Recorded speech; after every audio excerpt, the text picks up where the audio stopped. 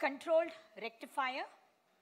We looked at half controlled and fully controlled with R and RL load. I'll recapture that a little bit so that we will have continuity. So we started off with controlled rectifier. So what we said was instead of diodes, we will use SCRs. Right? And diode will conduct whenever it is forward biased. There is no control over its conduction uh, duration.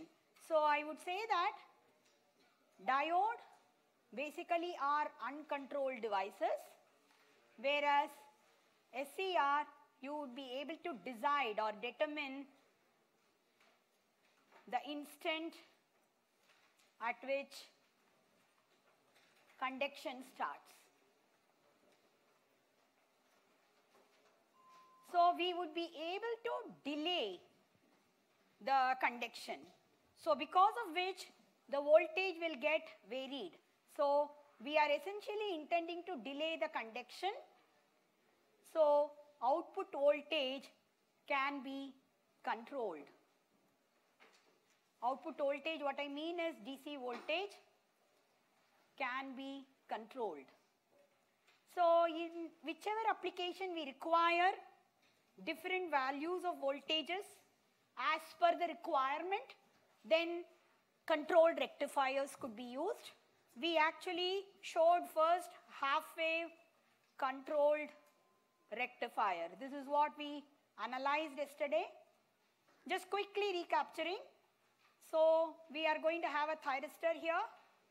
This is the power supply and this is the load. Right? So we are supposed to give the gate pulse. Here is the gate pulse that we need to give. Right? You guys can move inside so that those two can sit, please. Thank you.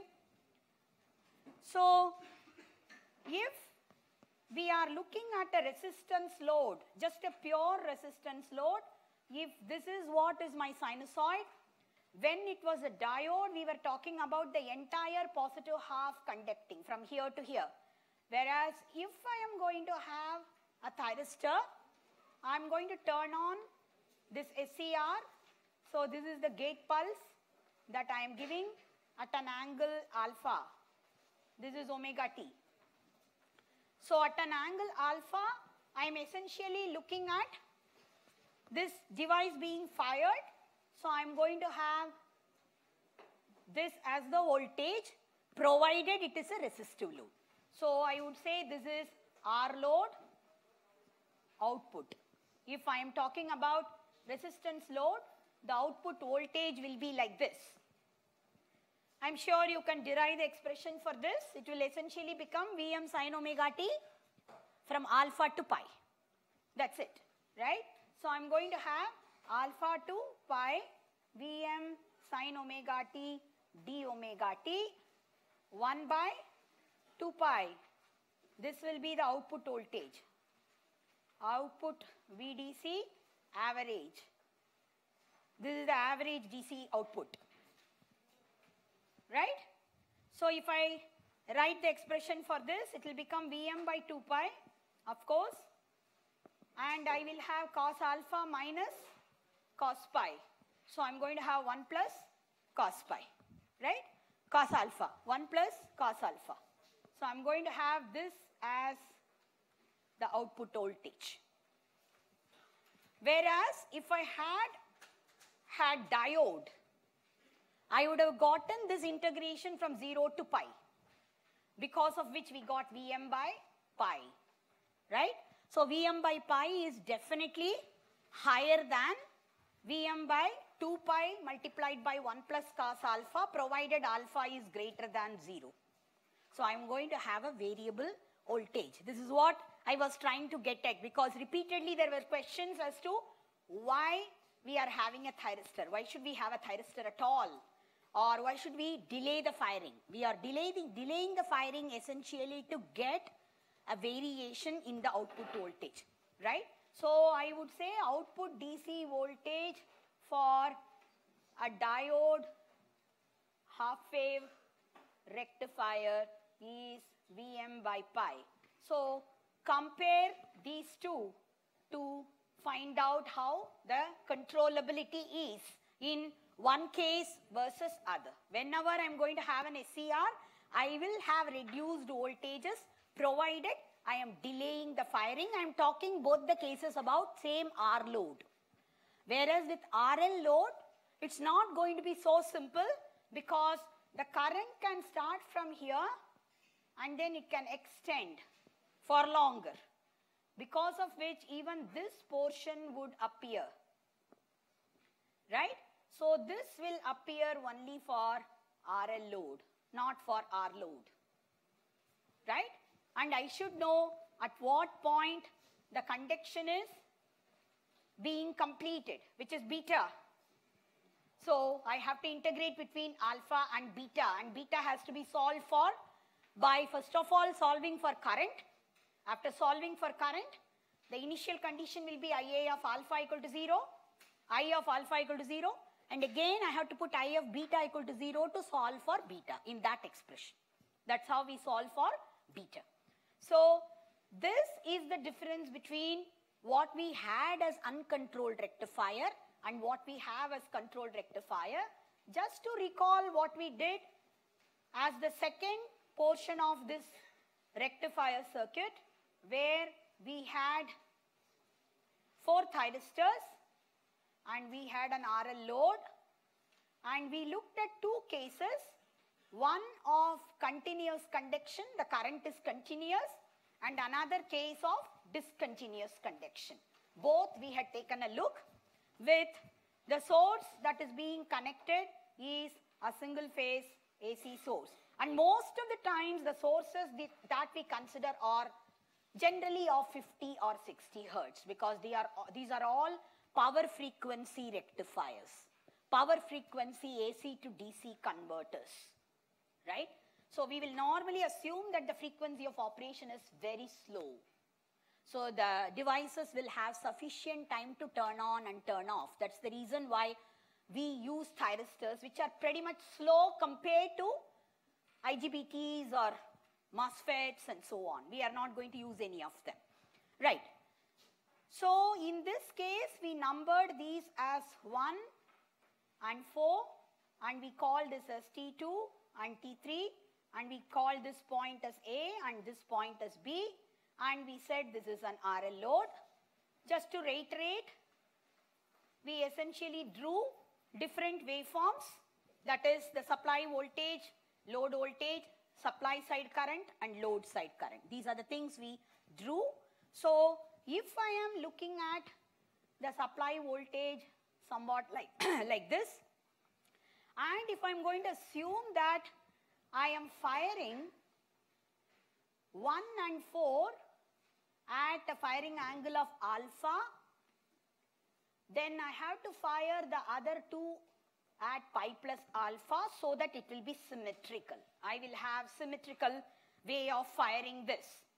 So now if I assume it is continuous conduction, the current can never be zero. It has to be at least some value. So if I say that it is starting from some value, so maybe it is starting off with some value. So from here, it is going to start increasing like this. It is increasing and at some point it will start decreasing.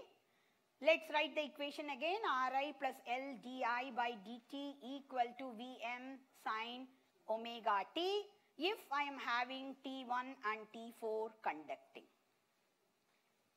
If these two are conducting, I am going to have Vm sine omega t directly applied across the load. Whereas, I am going to have this will be equal to minus Vm sine omega t if T2 and T3 are conducting. Because just the opposite polarity is connected right across the load. That's the reason. Right? Now, if I'm going to have L di by dt equal to Vm sine omega t minus Ri.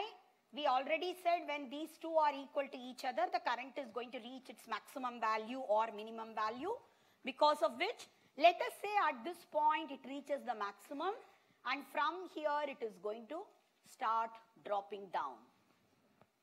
Right? Correspondingly, I can draw probably the voltage waveform which is I times R somewhat like this. So at this point it reaches the peak and at this point it starts declining. So this is I times R whereas this is going to be I. Right?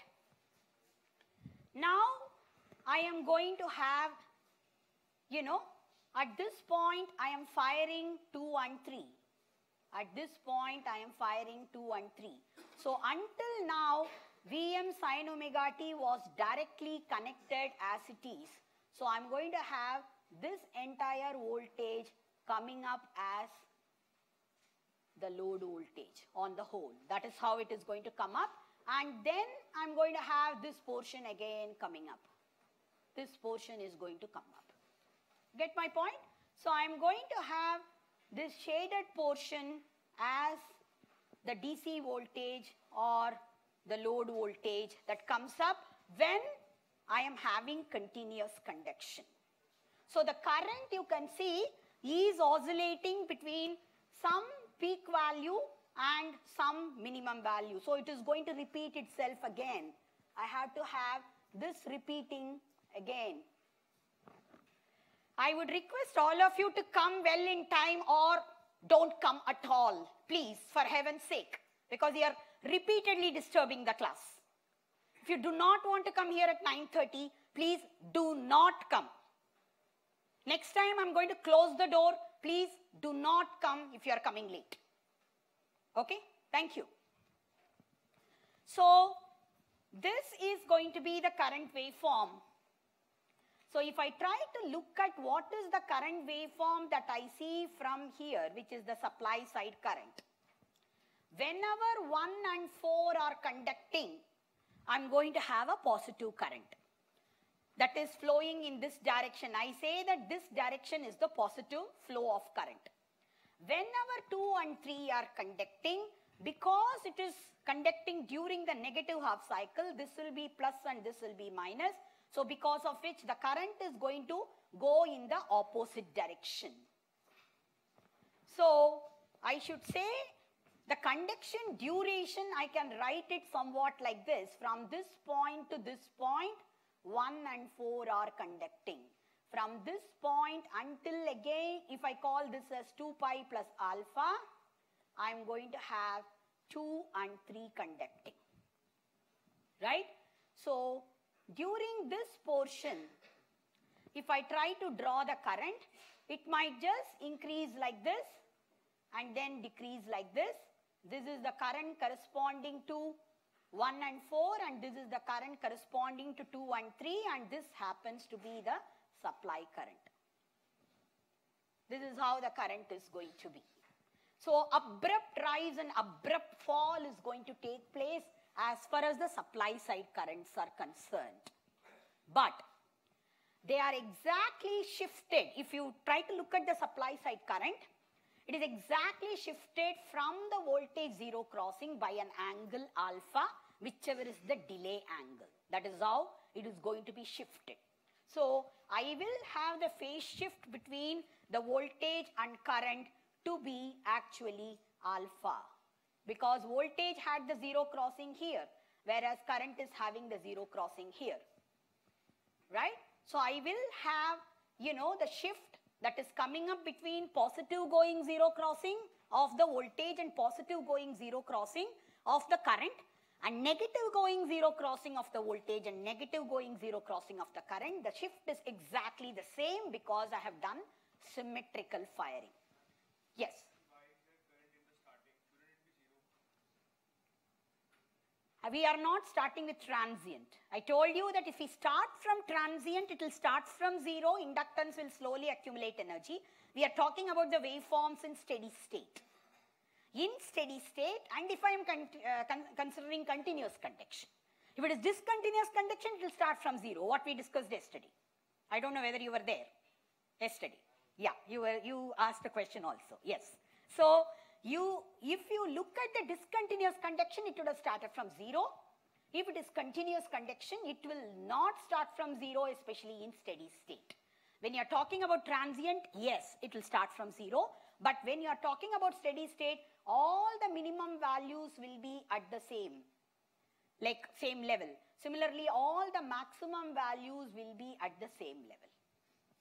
When that happens, that is when you call it as steady state. Yeah. No, no, not at all. Even in the transient, you have to start with thyristor only because you are not changing the circuit. You are starting off with dead position of the circuit. It's dead, completely dead. You are applying a voltage. The current will start from zero. At alpha, whichever alpha it is, at that alpha, the current will start slowly increasing. It is RL circuit, so the current cannot jump. So it will slowly increase. As it builds up, you are going to see that inductance stores energy. So at whatever point Vm sine omega t becomes equal to Ri, the current has reached its maximum, there is no more energy to supply to the inductance, then the current will start declining because of which inductance will be able to pitch in. So it pitches in until the next pair of devices are fired. The moment the next pair of devices are fired, if the current has not still touched down zero, then it is already having a head start. You get my point? So like that, it builds up energy. That's what happens.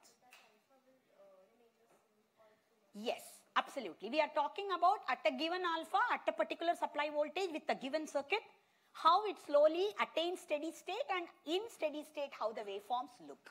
This is what we are talking about. Right?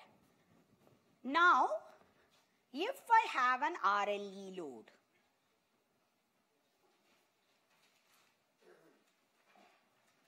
if I have an RLE load, which is like a DC motor drive, for example, which is already running, so it will have a back EMF, right? And if it has a back EMF, you are going to have definitely that back EMF opposing the current.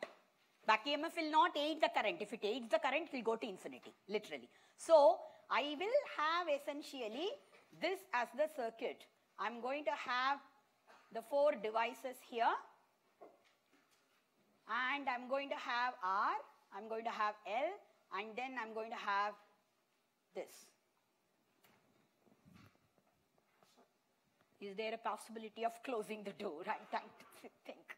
Because just continuous influx, it irritates no ends on, you know. Okay. So, now I have put the source such that the positive is here. Which means it is definitely going to oppose the flow of current or it is as though a battery is getting charged. The current is in this direction. So I'm going to have plus here and minus here. So it is, the battery is trying to accumulate energy. Right? That's what it is. Now if I am having this somewhat like this, then I'm going to have, let us say I'm talking about a 230 volts AC here.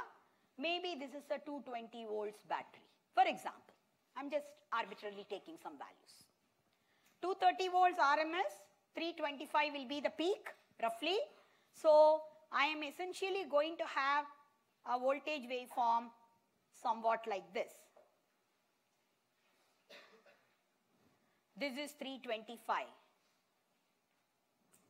And what I am having here is about 220, so probably this is going to be my DC voltage.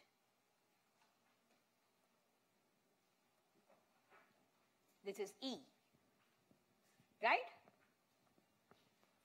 So, if I try to fire, for example, at this point, right? If by chance it, if it happens to be continuous conduction, then yesterday Apur was asking, Apur Dankar was asking repeatedly that why should you not consider the inductance voltage at all while you are looking at whether it is trying to forward bias, the supply voltage will forward bias the devices or not. but the load inductance is completely isolated. If I am trying to look at the whole thing as though, let's say I am trying to fire 1 and 4. And these two are, if they are already conducting, if they are already carrying a current, continuous current, in that case, I can consider them as short circuits, right? And I'm considering positive half cycle, which means plus here and minus here. So I would say plus is connected here, clearly. And this is minus, and through this device which is short circuited, this is going to be connected to minus. So this is plus and this is minus. So obviously, device number one is forward biased, irrespective of whatever is the voltage that is there in the inductance or anything. It doesn't care. Same way, I can say, if I consider device number 4, this is minus because this minus is directly connected here. And this is plus and this is a short circuit. So this will be automatically plus. So no matter what, this device is forward biased irrespective of whatever happens here. From supply voltage itself, I can say this particular device is forward biased no matter what. So, if I talk about continuous conduction even in this case and even if my DC voltage is higher than whatever is the supply voltage at the instant of firing, it doesn't matter, the devices will get fired. No matter what, the devices will get fired. On the other hand, if I am not having the conduction, let's say it is not continuous conduction, it is not continuous conduction. No current is flowing. If no current is flowing, this is an open circuit. This is also an open circuit. You get my point? It has to be open circuit. If it is open circuit, I have the supply voltage connected here, which is positive, but I have this plus also coming into picture here. This plus will come here because it is open circuit voltage. I have to look at open circuit voltage. When there is no current, essentially whatever is the voltage here, there is no drop, nothing here. So this voltage will appear right there. So if that voltage appears here, I have to have a tug of war between these two, whether this is dominating or that is dominating. If I'm going to have the voltage that is here, that is dominating over this positive, then it is reverse biased. On the other hand, if this is going to be smaller, I will have this forward biased. The same thing holds good for the other device as well. So there are two cases we have to consider. If I am having already continuous current, then I don't have to bother about what is happening in the RLE. I can directly say if it is positive half cycle, I will be able to fire 1 and 4. If it is negative half cycle, I will be able to fire 2 and 3. Whereas, if I am not having continuous current, in fact, the current has to start from 0. At the instant of firing, I have to compare basically what is the voltage here and what is the voltage coming up from the supply. And I have to compare the two and if the supply voltage is dominating, only then it is going to get fired. That's all the more reason why we never give a single pulse normally for a thyristor. We get a train of pulses. We generally make a pulse almost for 180 degree duration because I would know that from here to here this device can conduct and from here to here the other device can conduct. So this is for T1, T4, this is for T2, T3. So this is from alpha to almost pi plus alpha and this will be from pi plus alpha to 2 pi plus alpha. So if it doesn't get a chance to fire here, at least let's give it a chance to get fired whenever it is possible for it to conduct. So thyristor circuits as a rule are never given one single pulse of a very short duration. Never ever because we are always Mihir क्या कर रहे हो क्या कर रहे हो कुछ देख रहे हो नहीं पढ़ने की जरूरत नहीं जब सुन रहे हो तब पढ़ने की जरूरत नहीं Please put away your mobile. Thank you. Unfortunately, I know many of your names. So, you know, I can't help it but call it if I see something fishy going on. Okay. So, if I am going to have actually an AC supply being supplied to a thyristor circuit, I necessarily need to give a long duration pulse. But the continuous long duration pulse normally I do not give for SCR because I use a pulse transformer. Please correlate the two. I connected a pulse transformer to isolate the gate from power. This, all these things are in gate. All these things are in power. Right? T1 and T2, whatever I'm giving is in gate. T1, T4, T2, T3, all these pulses are in gate. And gate pulses, if I try to give continuous pulse, yes, I need to give a wider pulse, I told you. But if I give the wider pulse directly, the pulse transformer will get saturated, which I am using for isolation. So I necessarily need to AND it with high frequency. That's what we did. You remember, we ANDed it with high frequency and then we made the amplification and after the amplica- amplification in the collector we had connected a pulse transformer. That's what we had done. So please correlate these two right? That's all the more reason I want all of you to come for all the lectures. Otherwise, you will not be able to make out head or tail of it. Don't be like a visiting professor. Come only once in a while and things like that. Please do come regularly for the class because today suddenly I see a huge crowd. I think you guys are expecting a quiz. I'm not going to give a quiz. If there is such a big crowd, I will not give a quiz. As simple as that.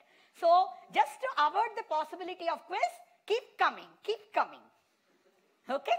So, if you really anticipate a quiz, you will not get a quiz even if I am ready with the paper. As simple as that. Okay? Fine. So, let us try to, huh? Yeah. We are having a pulse given here. Please silence. If you are disappointed, I can't help it. Sorry. Okay. So, if I am having one pulse here, it is not going to allow the SCR to fire, especially under discontinuous conduction. So I might have to give it a chance, fair chance to conduct by giving a wider pulse. But if I give a wider pulse, because that is the norm for the thyristor normally, if I give a wider pulse directly, if you may recall, we had said that the pulse has to be given basically to an amplifier. In the amplifier, I had given a pulse transformer in the primary which is connected to the amplifier and the secondary was directly connected through a diode to the gate and cathode. This is how I had shown, right? So this is all 15 volts or 5 volts, all the electronics, right? Microelectronics. Whereas gate and cathode clearly is connected to larger voltage, larger power levels right? Larger voltage and larger current. So I want isolation between the two. That's the reason I am using a pulse transformer. The pulse transformer will isolate the ground of the microelectronic side from the power side. But because I'm using a transformer, I can't afford to give a pulse which is continuous like this. It will saturate. That's the reason what we had done was to use an AND gate. An AND gate we had used with here we had given a clock kind of pulse, high frequency pulse. And here we had given this pulse. So what you will get here will be a train of pulses like this. And then it will be zero, again a train of pulses like this. So, yeah. Uh-huh. Hi. Yeah. After the DC, that DC line touches the curve for the second time. Uh-huh. Uh, if we apply a pulse, uh, if we apply, if, if we try to fire uh, the thyristor now, it won't get open. It, it won't get on.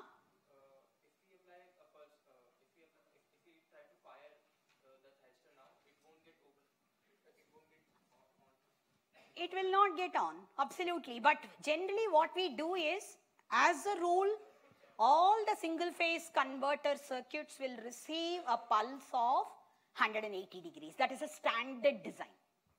Although it is not going to really work, you know, even if I try to fire it beyond this, it will not work.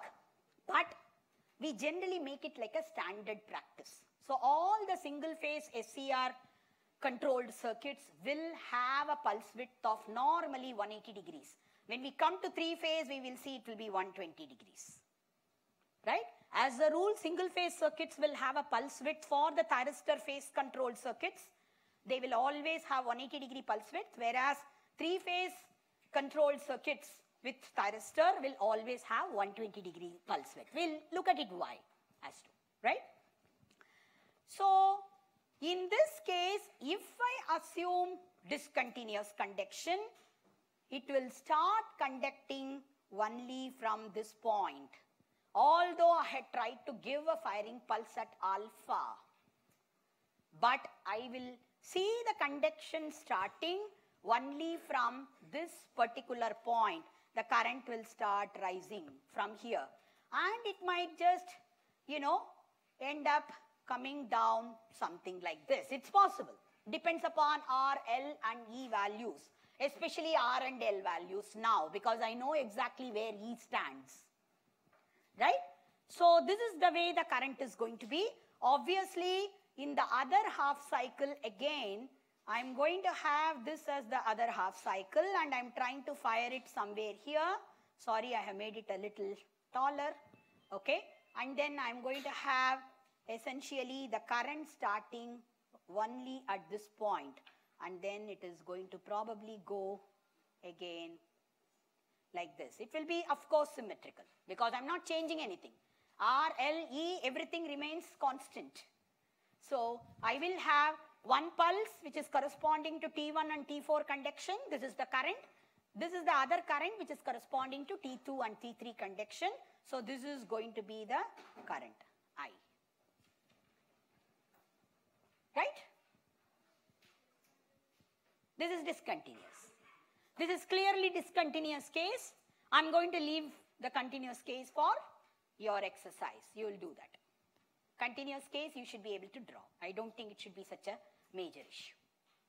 Right? Please draw it for continuous case. Now let us try to look at the last type of single phase converter which is semi controlled.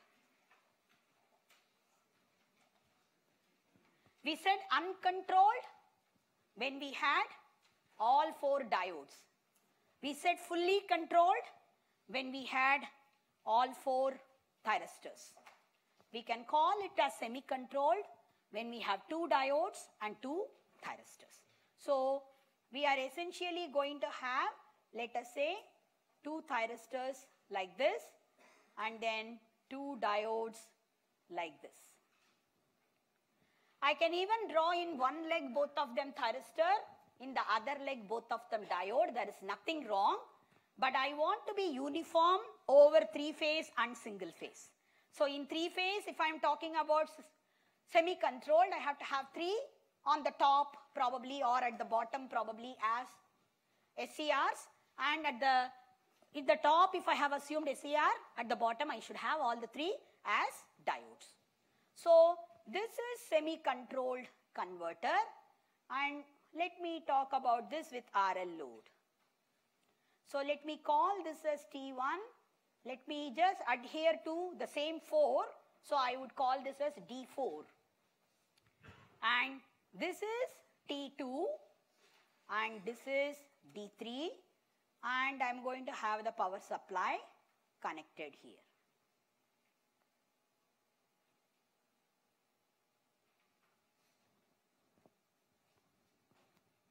Right? Let us see now what happens. I don't have to fire D3 or D4, clearly. They are uncontrolled devices. But I necessarily have to fire T1 and T2. Otherwise, they are not going to conduct. So, the tone for the conduction is going to be completely set by the thyristor. At least to start with, the conduction will be dictated by when I am giving the pulses to the thyristor. So let me draw the waveform also and simultaneously let us try to see how the whole thing is going to work. So this is my power supply and when I am inverting it or I am rectifying it, I am drawing the other side also like this.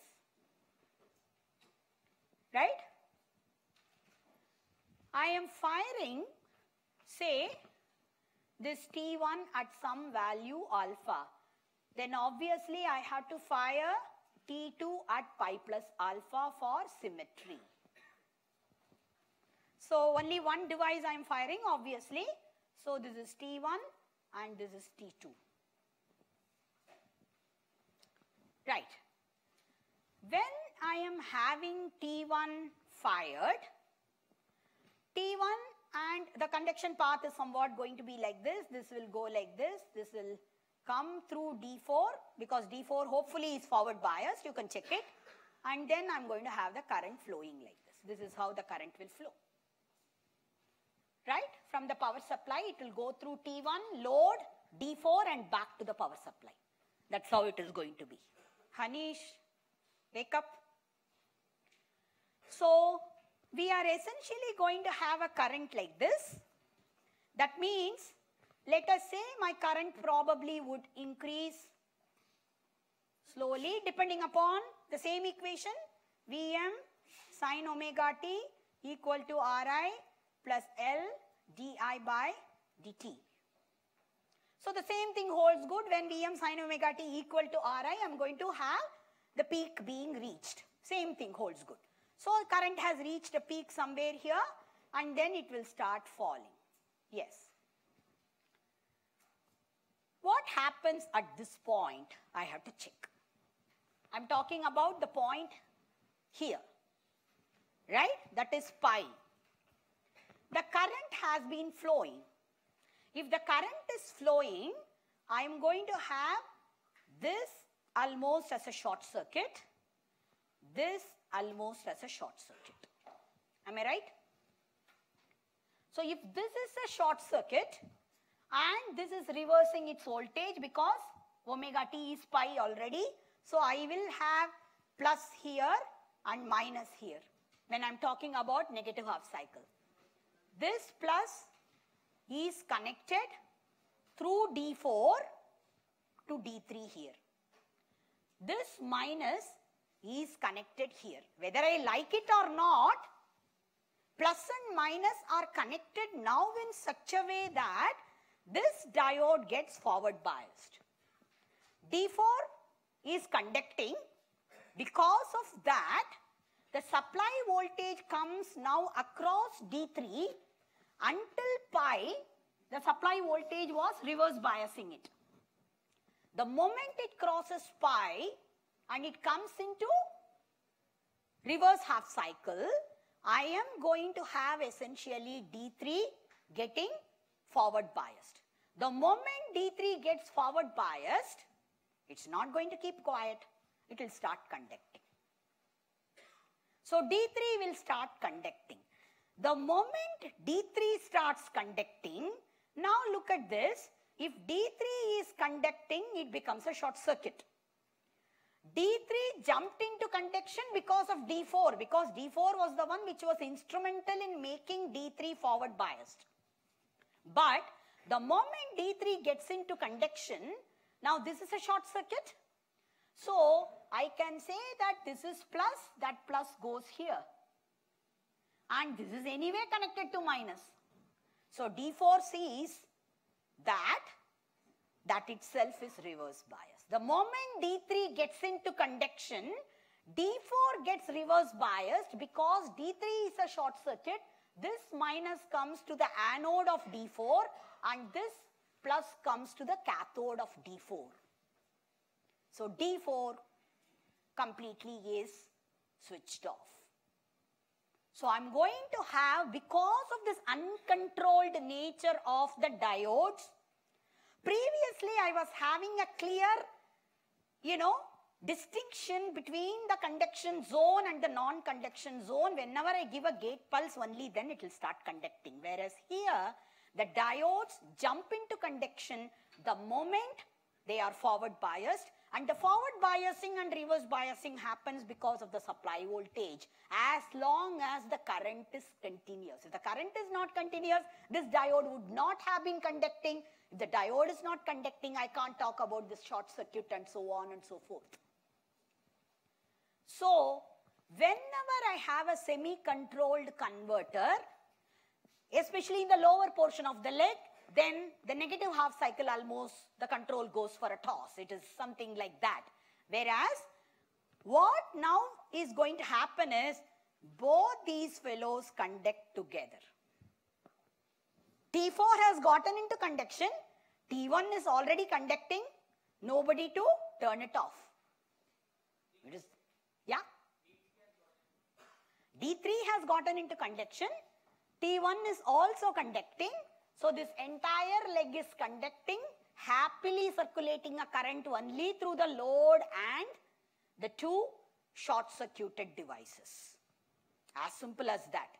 So the source is completely eliminated.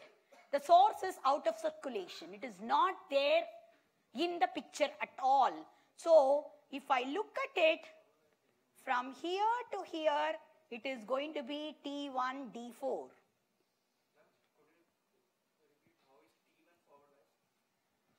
T1 is already conducting. If the T, any thyristor device is conducting to turn it off, you have to follow two conditions in sequence. The first and foremost condition has to be the current has to be less than holding current. That's not happening. So, T1 will not care. It will say, as long as I'm having the current, I will continue. No. See, the thing is that the moment it conducts, if you forget about the fact that it is ideal, it is not ideal. It will have a resistance, definitely. And the current is flowing in this direction. That will make this slightly positive, that slightly negative. So it is forward biased by virtue of its own voltage drop.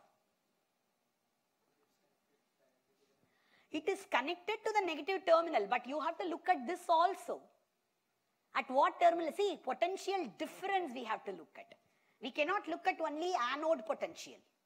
With respect to the cathode, whether it is more positive. That's what we have to check.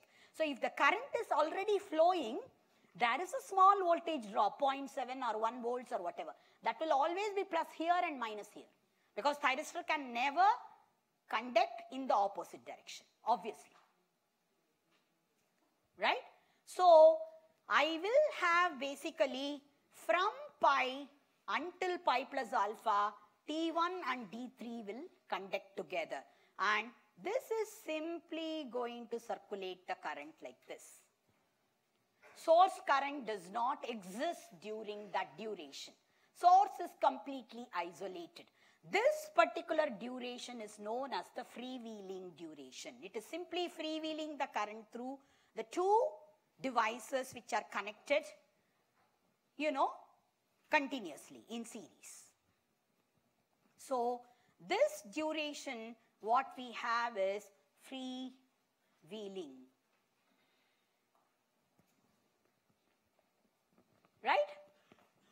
Now, if you look at again, the current probably would come down, but not as fast as what it was coming down for the fully controlled converter. In fully controlled converter, this negative portion of the voltage was appearing. That negative portion of the voltage was a huge drain on the inductance stored energy. Please remember, this is still the equation. When I have freewheeling, this will become 0 equal to Ri plus LdI by dt if I neglect the drops across the two devices. Right? So there is nothing which is actually coming up as source voltage. Whereas in fully controlled converter, this negative portion of the voltage was appearing. Because there is a negative portion of the voltage that is acting like a drain on the inductance stored energy, definitely the current could have fallen faster because it is essentially draining the energy of the inductance. But now the current will not fall as fast. So it is kind of pretty rare to see discontinuous conduction in semi-controlled converters. You will see very rarely discontinuous conduction in semi-controlled converter unless I make my alpha very large. If I make the alpha very large, the conduction itself starts very late, so there will not be much of stored energy and so on. But for smaller alpha, you will hardly ever see discontinuous conduction with RL load. You will not see. Right? If it is only R load, I don't think it makes any difference. Only the inductance stored energy is really creating all this magic. So if you don't have inductance in the load, then all these things are, you know, not valid arguments at all. So if I try to draw the other portion of the current, I should again draw it as though it is increasing and decreasing and so on. This is how the current will be. So this is the DC current or I load, load current. Now if I try to draw the load voltage, until here, I am going to have the load voltage coming up like this completely. But the moment the short circuiting happens, I will have zero voltage. Again, I will have this voltage appearing. Again, I will have zero voltage until 2 pi plus alpha. So whatever I have shown here is the load voltage without any negative portion of the voltage. There will not be any negative portion as far as the load side is concerned. So whenever I have a freewheeling diode or freewheeling uh, kind of duration coming into picture, I am going to have zero voltage. Sometimes we tend to put an explicit freewheeling diode despite the fact that these two can very happily do the freewheeling. There is no problem. But we put a freewheeling diode sometimes to reduce the voltage drop. Although we say ideal devices will not have any voltage drop, instead of having two devices having the voltage drop, if I have only one single device having the voltage drop, then the current can even pull along for longer duration. You understand? Because R times I, whatever is the forward resistance of this and forward resistance of this. Whereas here there is only one device whose forward resistance needs to be considered. So sometimes we might explicitly put a freewheeling diode just to reduce the drop. What is happening across two devices is a higher drop. I want to reduce the drop, so I might put just one device across this. I don't know about the new edition of Rashid. Old edition of Rashid used to have a mistake in this. Just be aware of that. The old edition used to say that if you put a freewheeling diode and if you don't put a freewheeling diode, the waveforms are different. They are not. The waveforms are the same. Right? Waveforms will not be any different. If whether I put a freewheeling diode or don't put a freewheeling diode in a semi-controlled converter. Of course, in a fully controlled converter, if, you, if I put a freewheeling diode, it will behave like a semi-controlled. As simple as that. Right? So, now let us look at the supply current waveform. Yes? Huh? Inductance was not low, beta. Huh, huh. Yeah, very much.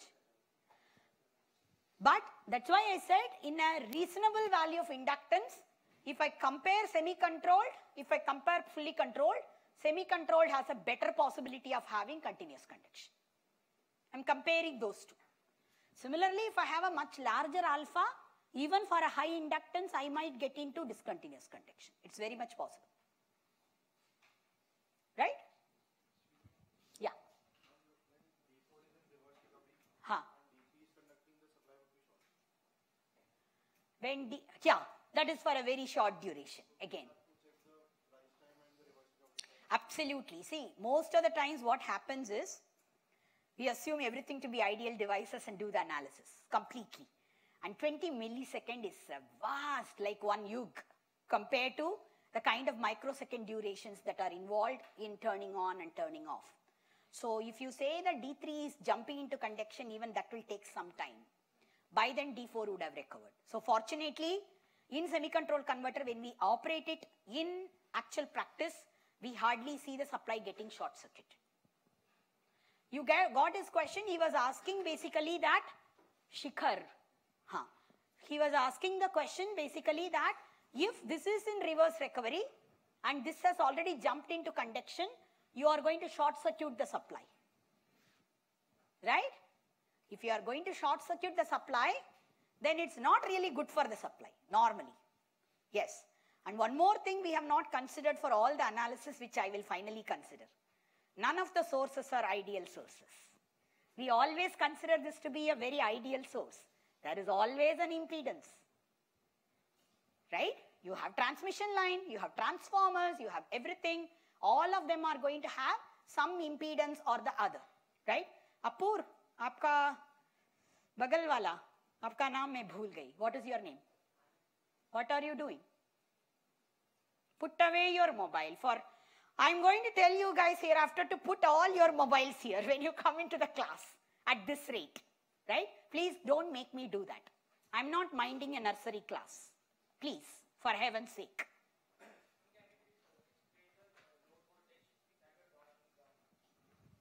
This one? As long as T1 and D4 are conducting, I'm going to have the supply voltage directly connected to the load. So supply voltage comes right across the load. So that's why this is the supply voltage and I'm going to have the load voltage same as supply voltage from alpha to pi. After pi, current is not zero, but these two devices are conducting. The load voltage is this entire thing.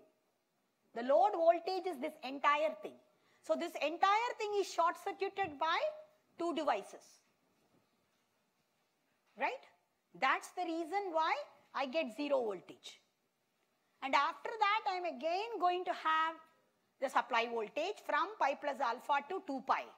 From 2 pi to again 2 pi plus alpha, it will be zero voltage because the other two devices will be short circuit.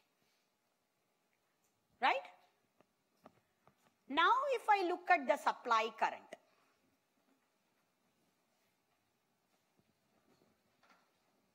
So, from here it is T1 and D4.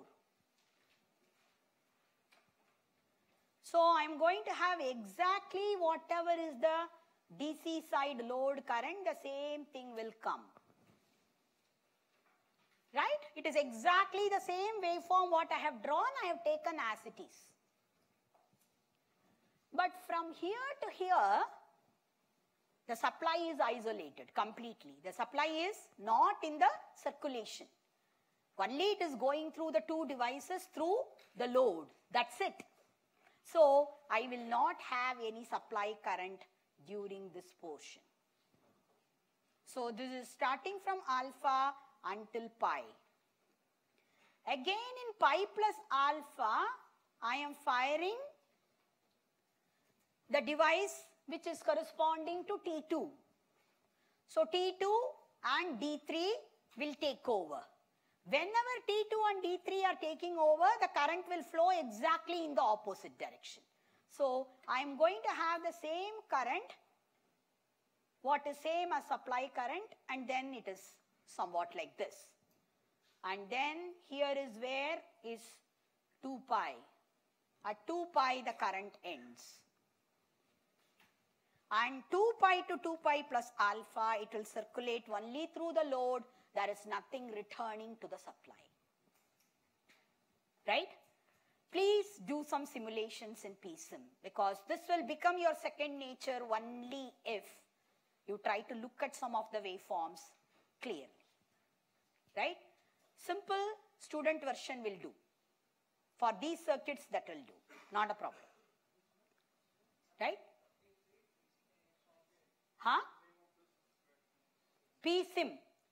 P-S-I-M. It is from PowerSim Incorporated.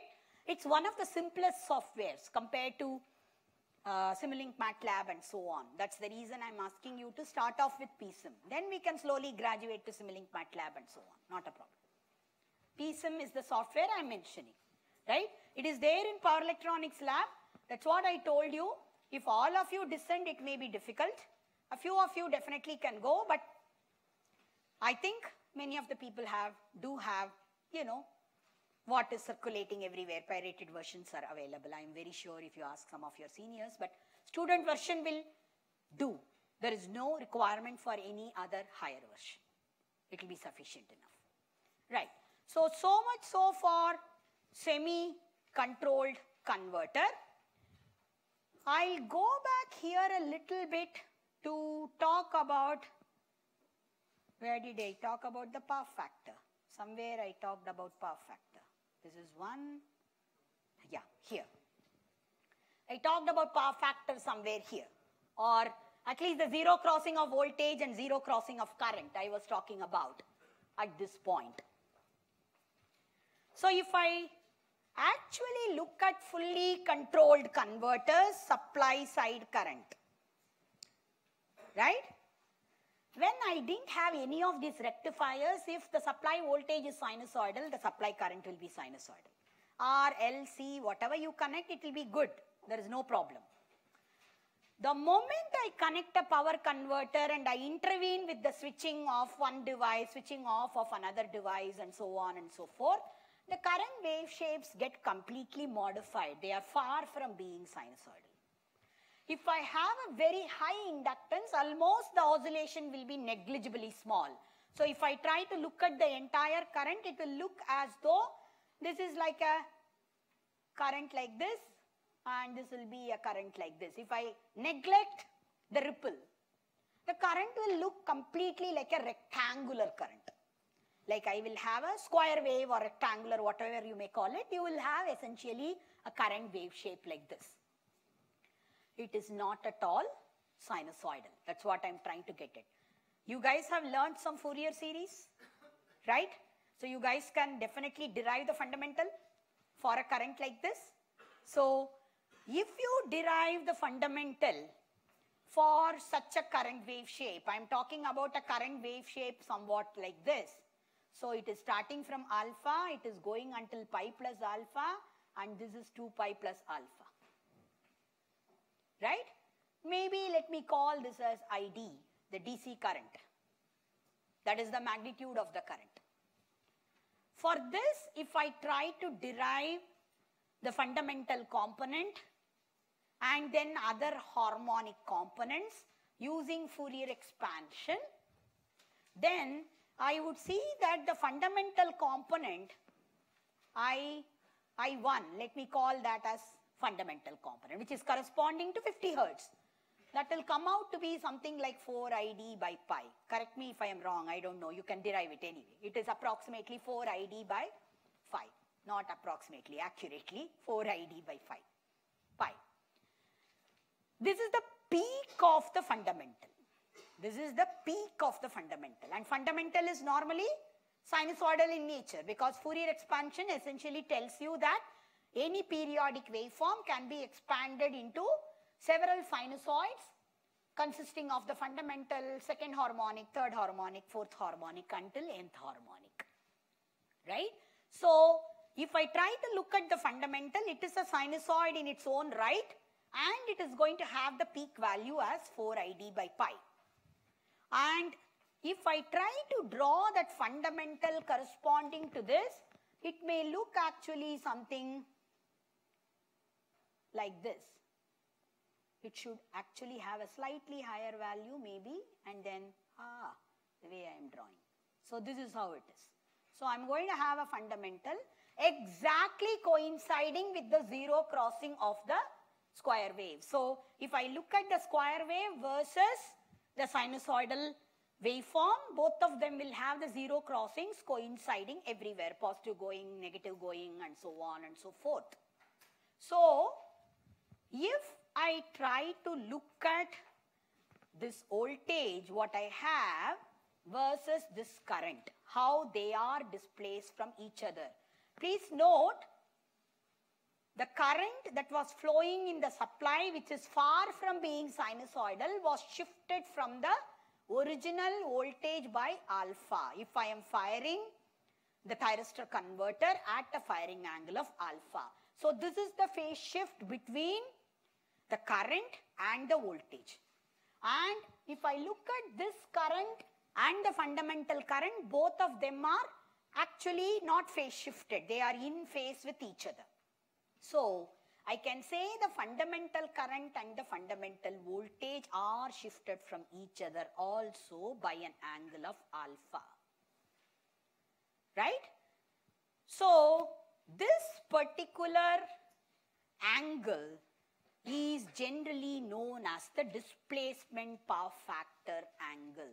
The displacement power factor angle is the angular difference or the displacement between the fundamental component of the voltage and fundamental component of current. So that is actually going to play a vital role in deciding what is the kind of power factor I can anticipate in my circuit. Because this is essentially pushing the current behind. That angle is telling you how much is the fundamental current being pushed behind.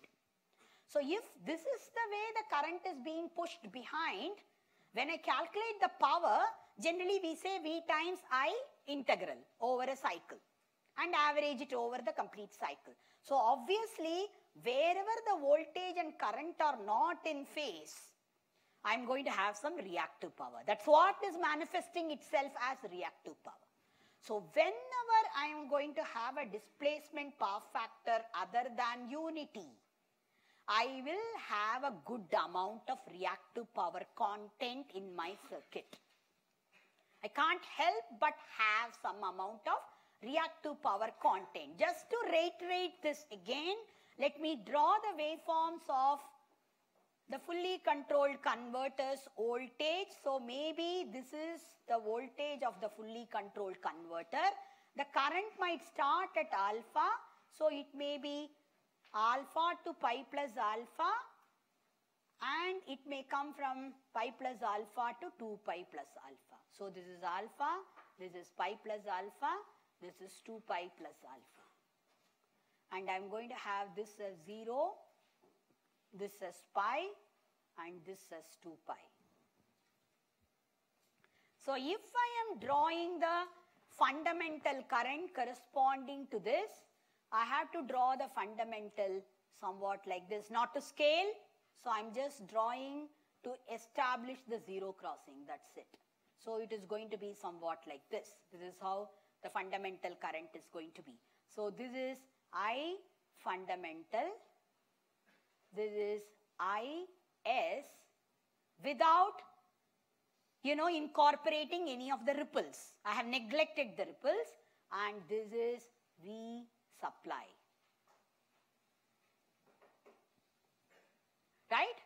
Now whatever is the displacement between the fundamental voltage and fundamental current between these two, this angle, if I, this is alpha in this case, this is called as displacement power factor angle.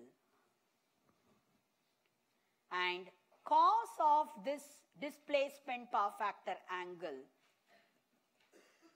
is known as displacement power factor.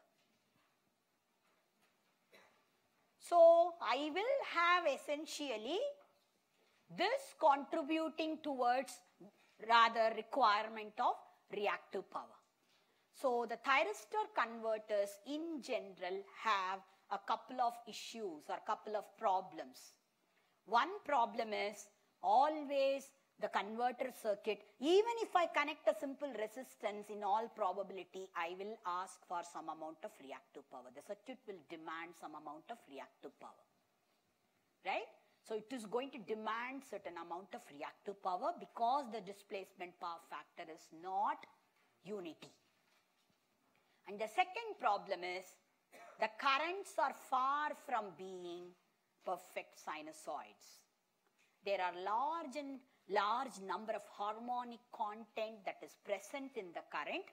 So if I have lot of harmonic content present in the current, imagine my source which is a sinusoidal source, all right, but I'm going to have some impedance, resistance and so on in the transmission line. If it is a three phase, everywhere I will have some, you know, transmission line impedances.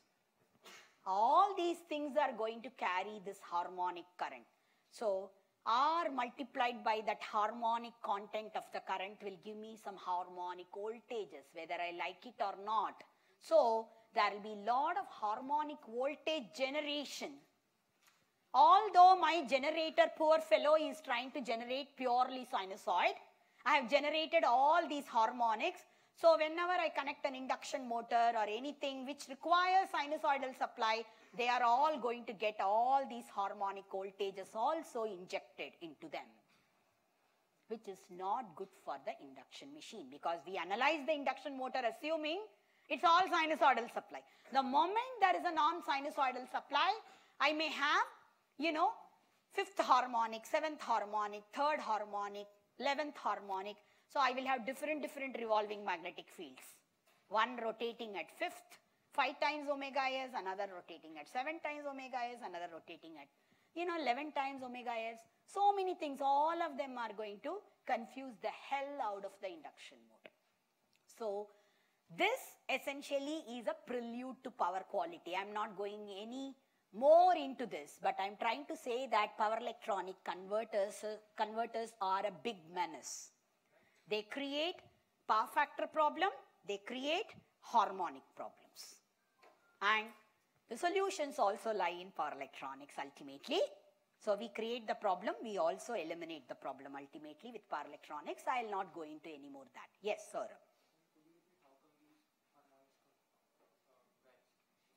If I am talking about square wave, that is the current actually drawn by the converter, which I cannot eliminate. Because of that, I will have harmonic currents. And if they, if I have harmonic currents and if I have R and L, R and L multiplied by the harmonic current will give me the harmonic voltage drops. So although I generated sinusoid, now I'm going to have some harmonic voltages, maybe negative, maybe positive, whatever that is generated in the transmission lines, which is ultimately is going to reach the motors and so on, which I'm connecting in the power grid. And these are not 1 kilowatt, 2 kilowatt. Power electronic converters, most of them may be megawatt level. Especially when I talk about DC motor drive or AC motor drive or HVDC transmission and so on and so forth. Everything will be incurring so much of harmonic content into the entire system. Right? So, we are will, will not dwell on this, but on the whole, DPF, that is displacement power factor, displacement power factor angle, power factor and so on are extremely important in terms of the overall performance of the thyristor rectifiers. So where I have uploaded some tutorial sheet which asks for some of these calculations. So maybe I will upload some examples also or you can look into Rashid. I want you guys to definitely read some textbook, please, for heaven's sake. Don't only look at the notes. Please look at the textbook as well. Right? Okay. So, so much so for single phase. Let us now try to look at three phase uncontrolled rectifiers.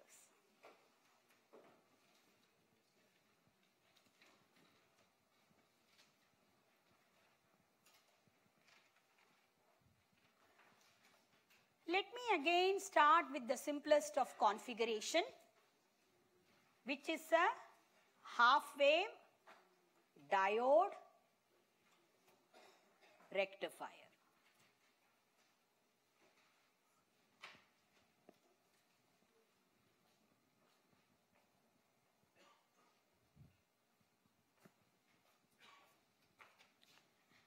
So, let us say I have one, two, and three phases. These are the three phases. So, let me call this as VA, N, this is probably neutral and this is VBN and this is VCN. Three phase voltages which are 120 degree shifted from each other and I am assuming balanced voltages obviously. All of them are having the same magnitude, right? Peak magnitude is the same. So I'm going to have one diode here, second diode here and third diode here. Let me call this as D1, this is D2, this is D3, right? And then finally from the neutral, I'm going to connect a load which is also connected to this star point like this. So what I am converting is AC to DC of course and the DC is connected between the neutral and the star point of the three phases which are connected after the device. Right? So, I have to see at what point D1 will conduct, at what point D2 will conduct and at what point D3 will conduct. Let's first of all start off with a simple resistance load, R load. Right?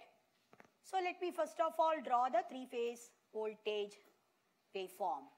So this is the sinusoid. So let me divide this into 120 degrees interval, I mean 60 degree interval.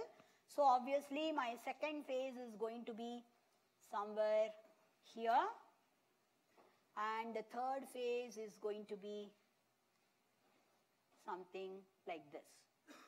These are the three phases. Right? Now, let me name them. This is VA. So the second one is VB and this third one is VC.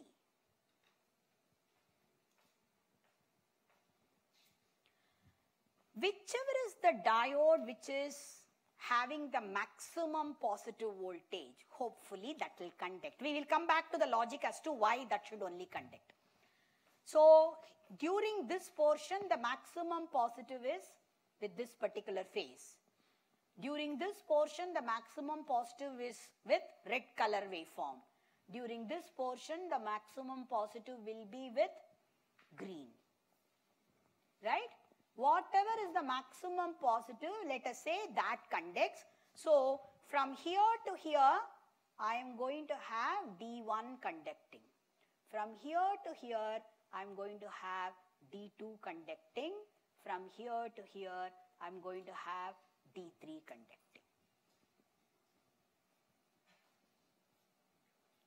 Right? Let us say now D1 is conducting. When D1 is conducting, it is as good as a short circuit. Right?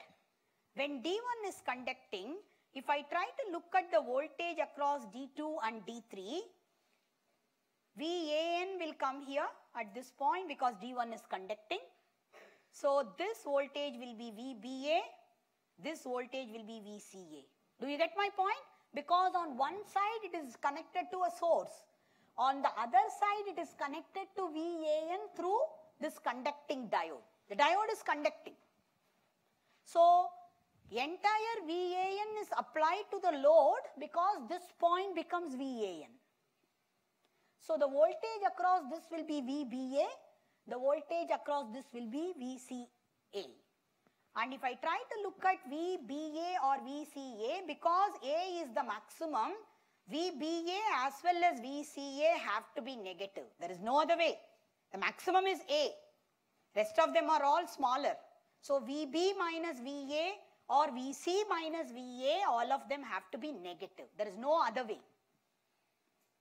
So, both these diodes are automatically reverse biased.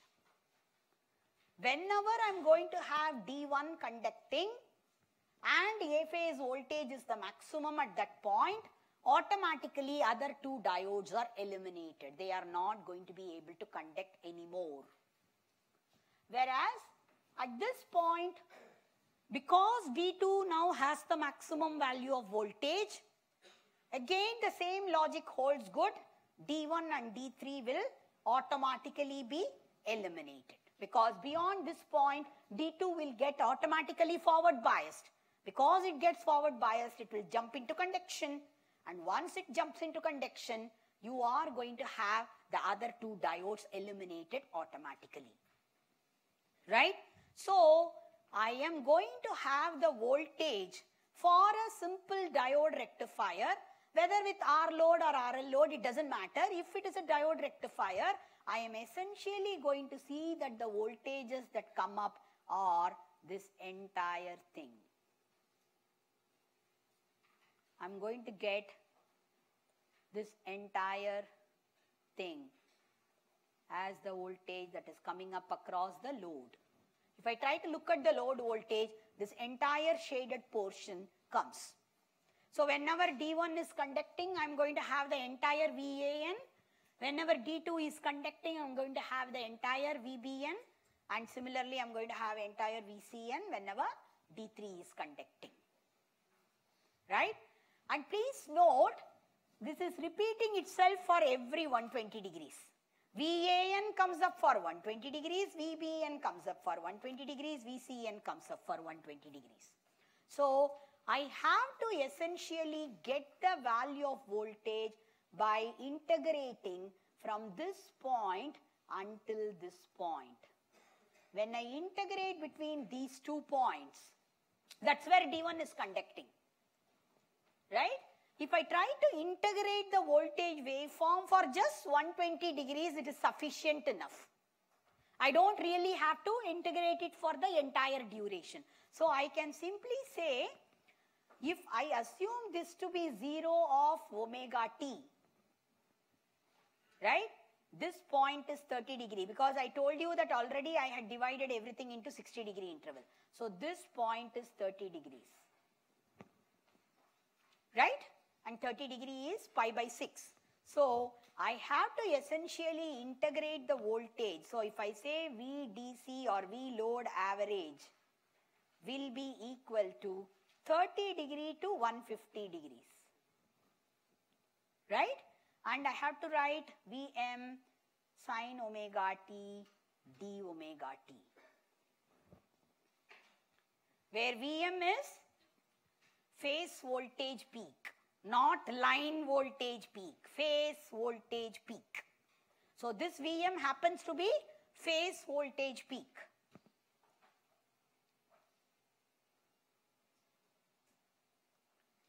And I have to average it over 2 pi by 3. Exactly. Right?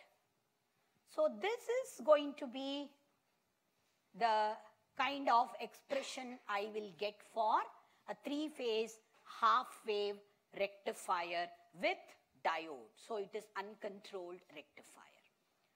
This is just for the sake of continuity. Again, this is hardly ever used anywhere because you should know how a half wave rectifier works. Then we will go to full wave. That's the reason I am kind of discussing this because this hardly has any applications. Hardly ever.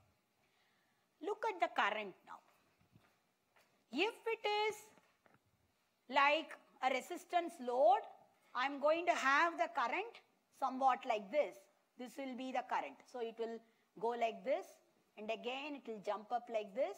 Same 120 degree duration. Again I will have the current like this. So this will be the current for our load.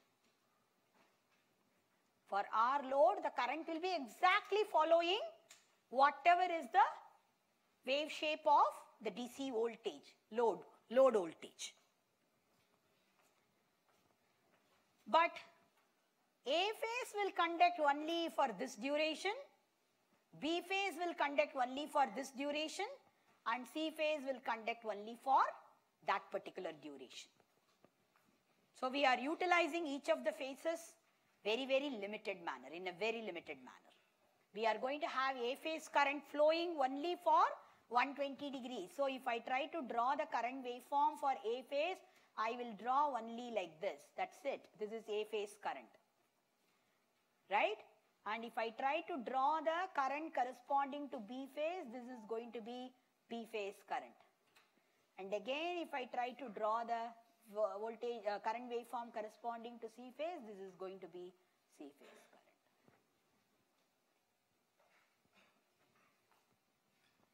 No negative half cycle currents. And the currents are far from being sinusoidal anyway. So this really gives rise to again huge amount of harmonic content and without any negative half cycle which means saturation of the transformer could be very well seen in this particular kind of rectifier. So this rectifier is really problematic because of these reasons. And one more thing is without neutral I can't work in this particular rectifier and most of our industries will have only three phases coming in. You will hardly ever see a neutral. Three phase will directly come to any industry. If the neutral is not there, you can't use this kind of a half wave rectifier. So this kind of half wave rectifier is hardly ever used in any of the industries. Right? So we'll go over to full wave rectifier in the next class, but I will also try to upload some problems in, uh, you know, and you please, you guys look at Rashid as well. Okay? I hope you guys have marked attendance. Please get back the attendance sheet to me. Thank you.